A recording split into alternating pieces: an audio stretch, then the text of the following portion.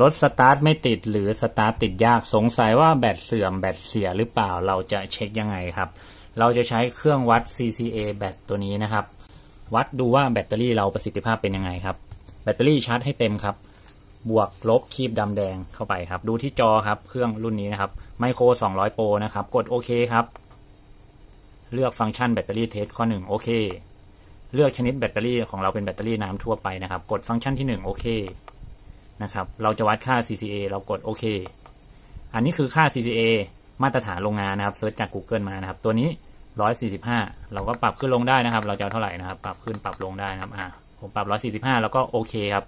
มันจะทำการ test เปรียบเทียบค่าเดิม 145 แล้วตอนนี้เหลือเท่าไหร่ครับ ตอนนี้เหลือ 75 CCA เองนะครับ นะครับ อะประมาณนี้นะครับ เลิกใช้เราก็ปลดออกนะครับ อะลองวัดอีกลูกนึงนะครับ อันนี้ 75 นะ ลบดำนะครับ บวกแดงก็เหมือนเดิมนะครับ กดโอเค เลือกแบตเตอรี่ test โอเค regular โอเคนะครับ CCA ตั้ง CCA 145 ครับ กด test ครับ เมื่อกี้ 75 นะครับ ตัวนี้เท่าไหร่เอ่ยอ่า ตัวนี้ 115 นะครับ แต่ละลูกจะไม่เท่ากันนะครับ ขึ้นอยู่กับประสิทธิภาพของแต่ละแต่ละลูกนะครับ แต่ก่อนจะวัดนะครับ ชาร์จแบตให้เต็มก่อนนะครับ เราจะได้รู้ว่าประสิทธิภาพสูงสุดตอนนี้มันอยู่ที่เท่าไหร่นะครับ อันนี้ร้อยกว่า อันนี้ 70 กว่า แนวโน้มตัวนี้เอาไปสตาร์ทก็จะสตาร์ทติดได้ดีกว่านะครับ ถ้าตัวนี้ก็อาจจะไม่ไหวแล้ว ต้องเอาไปทำอย่างอื่นแล้วนะครับ อันนี้คือการวิเคราะห์นะครับ ทีนี้มาดูในรายละเอียดนะครับ สมมติไม่ใช่แบตลูกเนี้ยนะครับ เป็นแบตลูกใหญ่ขึ้นแบตรถยนต์รถเก๋งรถกระบะอะไรก็ตามนะครับ อันนี้ผมยกตัวอย่างง่ายๆนะ เป็นลูกใหญ่ๆมาตั้งปึ้ง ซื้อเครื่องมาจะรุ่นไหนอะไรยังไงก็ตามนะครับ เราจะเซตค่าวัดยังไงนะครับอ่าสมมติอันนี้เป็นแบตลูกใหญ่แล้วนะครับ แบตลูกใหญ่เฮ้ยมันสตาร์ทไม่ติดแล้ว เราอยากวัดนะครับ ค่าที่เราต้องหานะครับ คือค่า CCA นะครับ เราจะหายังไงครับ เราดูยี่ห้อกับรุ่นนะครับ อันนี้เป็นแบตเตอรี่ยี่ห้อ Leo เห็นไหม LEO นะครับ ลอง search Google Leo 12โวลต์5แอมป์ค่า CCA นะครับ ผมเข้าเลยนะครับ นี่ ผมพิมพ์ Google เลยค่า CCA แบตเตอรี่ตามด้วยยี่ห้อ แล้วก็ชื่อรุ่นแต่ละรุ่นนะครับ search ขึ้นมานะครับ นี่หน้าตาเหมือนกันเลยนะครับ นี่เห็นไหมนี่นะครับ รุ่นนี้เลย อันเดียวกันนะครับ LTZ 5S แล้วก็มาไล่ดูสเปคนะครับเอ๊คำว่า CCA มีอยู่ตรงไหนบ้างเห็นไหมเห็นไหมนี่นี่นะครับแบตเตอรี่ Leo 5แอมป์12โวลต์นี่ใช่ไหม5แอมป์12โวลต์5แอมป์นี่ใช่เลยรุ่นเดียวกันนะครับเราก็มาดูค่า CCA 140ถึง145 เห็นไหมที่ผมเซตค่าเมื่อกี้นะครับของเพื่อนๆรุ่นรุ่นอะไรเราก็มาดูนะครับในสเปคว่าค่า CCA เท่าไหร่นะครับเนี่ยนะครับลองดูนี่ลองดูได้หลายอันเนี่ย Leo เนี่ยเห็นไหมแบตเตอรี่ หน้าตาเหมือนกันค่า CTA ก็อยู่ที่ 140ถึง145อะอันนี้เราก็ยืนยันได้แล้วนะครับว่าแบตเตอรี่ของเราค่า CTA มาตรฐานโรงงานเท่าไหร่เราก็ชาร์จแบตลูกนั้นให้เต็มนะครับ ถ้าเป็นผมนะ แบตเตอรี่รถยนต์ผมสตาร์ทไม่ติดนะ ผมจะปลดสายทุกอย่างออกนะครับ ถ้ายกออกมาเติมน้ำกัน แล้วมีเครื่องชาร์จแยกต่างหาก เราก็เอาเครื่องชาร์จชาร์จเลย วัดเดียวๆไม่ต้องไปพ่วงอะไรเลยนะครับ พอชาร์จแบตเตอรี่เต็มปุ๊บขั้วลบคีบนี่ขั้วบวกคีบนี่แบตลูกใหญ่นะ 60 แอมป์ 80 แอมป์ 100 แอมป์อะไรก็ว่ากันไปนะครับ พอคีบปุ๊บ เราก็มานี่เลยนะครับ กดโอเคใช่ไหมเลือกเนี่ยนะครับ แต่ละฟังก์ชันเนี่ยถ้าเราจะวัดอย่างอื่นนะครับ เราก็เลื่อนไปดูนะครับ แต่เราใช้อันนี้เยอะสุดแล้วแบตเตอรี่เทสเนี่ยกดโอเคครับ อันนี้ชนิดของแบตแต่ละ ถ้าแบตรถเก๋งมันก็จะมีหลายแบบกว่านี้นะ ลองลองลองดูนะครับ ว่าแบตเราเป็นแบตไหนแบตแห้งแบตเจลอะไรมันเยอะแยะนะครับ แต่ถ้าเป็นแบตทั่วไปแบตต้องเปิดฝาหกฝาเติมน้ำกันนะเลือกอันแรกนะครับ กดโอเคครับ อันนี้คือค่าที่ที่เราต้องการวัดนะครับ เนี่ยมีเยอะแยะอะไรผมกดให้ดูทุกค่าเลยแล้วกันเนี่ยแต่ค่าที่เราจะวัดคือค่าแรกหนึ่งทับสิบเนี่ยกดโอเคครับ CCA นี่ตรงนี้หัวใจ ถ้ารถยนต์รถใหญ่ๆมันจะหลายหลายร้อยนะเนี่ยเราก็กดค้างก็ได้นะครับ ค้างขึ้นไป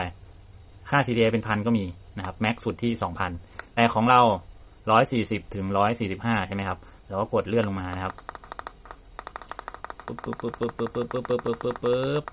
ปึ๊บร้อยสี่สิบห้าโอเค เรากดโอเคครับ ปึ้งมันจะเทสให้ง่ายๆเท่านี้เองนะครับ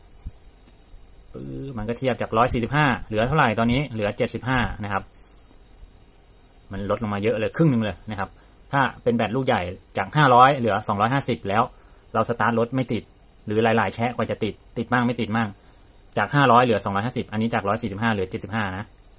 ครึ่งครึ่งอันนี้ก็ถ้าเป็นผมก็เออ ถ้าแบตใช้มาได้สัก เกือบเกือบสองปีสองปีกว่าเกือบเกือบสามปีอยู่ที่สองปีบวกลบอะ่ะแล้วค่าทีเดมันต่ำแล้วรถสตาร์ไม่ติด อันนี้เราไม่ต้องพยายามปลุกผีแบตเตอรี่เราแล้วนะครับ ซื้อใหม่เลยนะครับ เป็นผมนะถ้าไหวซื้อใหม่เลยนะครับ เพราะว่ารถถ้ารถเราใช้บ่อยเนี่ยแล้วเอาไปจอดไกลๆไกลผู้ไกลคนเนี่ยแล้วสตาร์ไม่ติดทีนี้ยุ่งแล้วนะครับ ไม่มีคนช่วยทำยังไง ก็ต้องไปจ้างเขามาลากมันมาจงมาจ้ำกันวุ่นวายอีกนะครับเปลี่ยนได้เปลี่ยนเลยถ้าเราวัดแล้ว CCA มันเหลือต่ำนะครับ ต่ำจริงอะไรประมาณนี้นะครับ วัดเพื่อยืนยันว่า เอ้ย รถสตาร์ทไม่ติด รถสตาร์ทติดยาก มันเป็นที่แบตจริงไหมนะครับเราวัดแล้ว CCA เหลือต่ำโอเค สบายใจ เปลี่ยนได้อย่างสบายใจ ไม่ต้องไปดูจุดอื่นนะครับ อันนี้คือประโยชน์ของเครื่องตัวนี้นะครับ ทีนี้เรามาดูสเปคนะครับ เผื่อใครอยากซื้อรุ่นนี้นะครับ มันมีหลายรุ่นหลายยี่ห้อนะนะครับ อันนี้เป็นไมโคร 200 โปรนะครับ ผมซื้อมาใช้เองนะนะครับ 12 โวลต์ แบตเตอรี่ test LCD LED มันวัดได้ตั้งแต่แบต 3 แอมป์ ถึง 220 แอมป์นะครับ ได้ทั้งแบตมอเตอร์ไซค์แบตรถยนต์นะครับอ่ามาดูสเปคด้านหลังนะครับ มัน test ได้ 12 โวลต์และ 14 โวลต์นะครับ 12 โวลต์มอเตอร์ไซค์กับ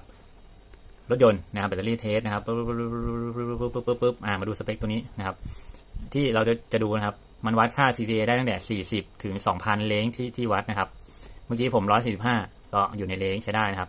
กระแสแบตเตอรี่นะครับ ตั้งแต่ 3 ถึง 120 แอมป์นะครับ ตัวนี้ แบตเตอรี่ 5 แอมป์แบตเตอรี่เพื่อนๆ อาจจะ 80 แอมป์ 100 แอมป์ 60 แอมป์ 50 แอมป์ ก็วัดได้อยู่ใน range นะครับ voltage ตั้งแต่ 7 ถึง 30 โวลต์ DC แบตเตอรี่เรา 12 โวลต์ DC นะครับ อ่า ประมาณนี้นะครับ ทีนี้ค่า CCA คืออะไร มีประโยชน์ยังไงนะครับ ในคลิปนี้ผมยังไม่พูดถึงเรื่องการสตาร์ทรถนะครับ ผมขอเปิดดูข้อมูลก่อน โอเค นะครับ ขอบคุณเพจนี้ด้วยนะครับ ปึ๊บปึ๊บปึ๊บปึ๊บตั้งยังไงดีวะ เดี๋ยวนะครับถึงจะมองเห็น อ่าโอเค ตั้งอย่างนี้ก็ได้ อันนี้คือซีซีเครื่องยนต์ รถเราก็จะอยู่พันห้าพันแปดรถเก๋งนะครับ ถ้าใหญ่ๆหน่อยก็อยู่สองพันสองพันห้านะครับ ตัวหรูๆหน่อย หรือรถกระบะรถตู้อะไรก็อาจจะสามพันนะครับ ผมยกตัวอย่างกี่พันดี กลางๆ แล้วกัน ขอสักเครื่องยนต์สองพันซีซีนะครับ ค่า CCA ต่ำสุดที่พอจะสตาร์ทรถยนต์ได้นะครับ อันนี้คือที่เราวัดแล้วอะ ที่เราวัดแล้วเมื่อกี้ ถ้าผมเอาแบต แบตลูกนี้นะร้อยสี่สิบห้า CCA เนี่ยไปสตาร์ทก็ไม่ได้แล้วใช่ไหมครับ แต่อันนี้มันเป็นแบตรถมอเตอร์ไซค์นะ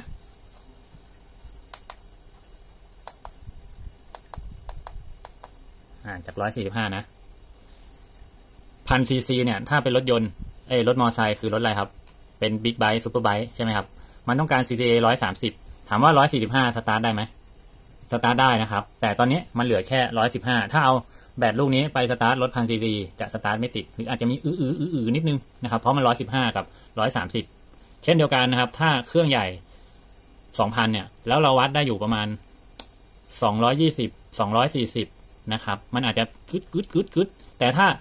คือตอนเราบิดสตาร์ทถ้าเราไม่รู้ค่าทีเดนะ สมมติมันดรอปลงมาเหลือสองร้อยนิดนิดนะไม่ถึงสองร้อยหกสิบมันอาจจะอื้ออื้ออื้อมีอื้ออื้ออื้ออยู่บ้าง แต่มันไม่ชึ่งนะครับ เพราะว่ามันต่ำกว่าค่า CTA ต่ำสุดนะครับ แต่ถ้าเราไม่มีเครื่องวัดเครื่องนี้เราจะรู้ไหมว่า มันอยู่ต่ำกว่า 260 หรือมากกว่า 260 รถเราสตาร์ทเนี่ยเฮ้ยอืดอืดอืดอืดอืดจะติดก็ไม่ติดจะดับก็ไม่ดับ มันเป็นว่าที่แบตเตอรี่หรือเปล่า ก็ไม่รู้แต่ถ้ามีเครื่องตัวนี้วัดดูจับดูเอ้า มันเหลือแค่ 220 เหลือ 230เอ้าว่าแล้วนะครับ ถึงเวลาถึงเวลาต้องเสียตังค์อีกแล้วนะครับ อันนี้คือประโยชน์ของมันนะครับอะพอจะเข้าใจเนาะการคำนวณมันจะเอา cc เครื่องคูณ 0.13 เท่ากับ CCA แบต ตอรี่นะครับ อย่างเครื่องพัน cc เนี่ย มันก็เอาพันคูณ 0.13 เท่ากับ 130 อ่าเดี๋ยวผมลองคูณให้ดูนะพันคูณ 0.13 1,000 คูณ 0.13 พันคูณ 0.13 นะครับ เท่ากับ 130ไหมนะครับ เท่ากับ 130 นะครับ ก็เนี่ยจริงตามสูตรที่เขาว่า แต่ตัวนี้เอาไปใส่กับรถมอเตอร์ไซค์125ซีซีนะครับฟีโนแกนฟิลาโน อะไรมีโอเหรอไอพวกรถนั่นแหละสมัยนี้สกูปปี้ไออะไรพวก125ซีซีออโต้จะสตาร์ทได้ไหมครับสำหรับ115 CCA เราก็มาลองคำนวณดูนะครับ ถ้าเครื่อง 125 CC คูณ 0.13 125 เอา CC นะ คูณ 0.13 มันจะใช้ CCA ต่ำสุดในการสตาร์ทเนี่ย เท่าไหร่ครับ ปึ้ง 16.25 CCA เอาแบตเตอรี่ลูกนี้ ที่ 115 CCA ไปใส่รถมอเตอร์ไซค์ 125 CC มันต้องการแค่ 16 มันก็สตาร์ทติดแล้ว แต่แบตลูกนี้ 115 เอาไปใส่สตาร์ทติดสบายๆนึกออกไหมครับ แบตลูกเดียวกันนะ แต่ถ้าเอาไปใส่บิ๊กไบค์พันซีซีมันต้องการ 130พันซีซีต้องการ 130 แต่ 125ซีซีมันต้องการแค่ 16 นะครับ คันนึงใช้ได้อีกคันนึงใช้ไม่ได้ โอเคนะครับ พอจะนึกภาพออกไหม นะครับ นี่คือประโยชน์ของมันนะครับโอเค ประมาณนี้ครับคลิปนี้ ก็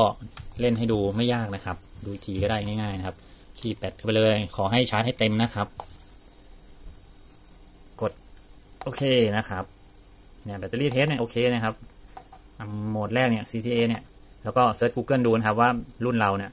ใช้ CCA เท่าไหร่แล้วก็ปรับขึ้นลงนะครับ พอได้ค่า CDA โรงงานแล้วเราก็กดโอเคครับ มันก็จะเช็คให้ครับ โอเค จาก145เหลือ115เอ้ย มันยังเป็นโอเค มันจะขึ้นเลยครับ Good Battery Work Work นะครับ แต่ถ้า วัดดู เมื่อกี้ Good Battery นะ วัดดูแล้วถ้า CDA มันต่ำ CDA โรงงานเท่าไหร่ครับ145มาตรฐาน เทสดูครับ มันจะกูดแล้วเขียวไหม มันบอกไม่ไทยแล้ว เปลี่ยนแล้ว ซ่อมแซมแล้วครับ แดงแล้ว ไม่กูดแล้วนะครับ CDA ต่ำนะครับ โอเค ประมาณนี้ครับ คลิปนี้ก็ ไปแล้วครับสวัสดีครับ